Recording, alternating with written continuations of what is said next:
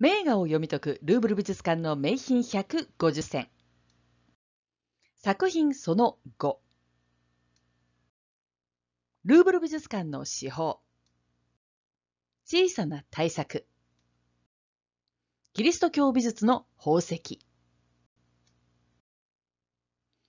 聖母の頭上に冠。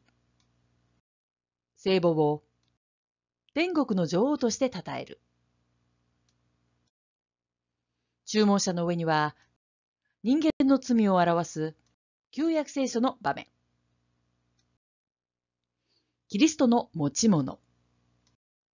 同じ形の3つの開口部。壁で囲まれた庭。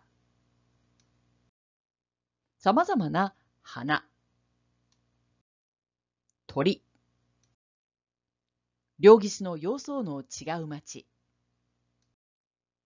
修道院。大聖堂。橋とそれを渡る人。船とそれに乗る人。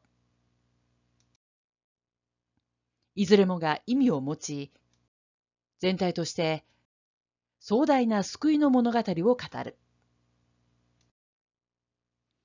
キリスト教文化圏の人がどうものを考えたか、多くのことが凝縮された感動的な作品。ヤンファン行く作ロランの聖母。詳しくは講義をぜひ。講義情報はホームページからご覧いただけます。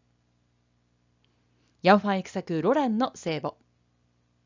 名画を読み解くルーブル美術館の名品150選作品その5でした。